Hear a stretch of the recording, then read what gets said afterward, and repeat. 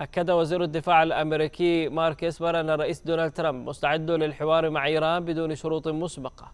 وقال إسبر في تصريحات تلفزيونية أن واشنطن مستعدة للحوار مع طهران حول مسار جديد يجعل من إيران بلدا طبيعيا أكثر. وكان ترامب حذر من ارتكاب مجزرة جديدة بحق المتظاهرين السلميين داعيا قادة إيران إلى عدم قتل المتظاهرين.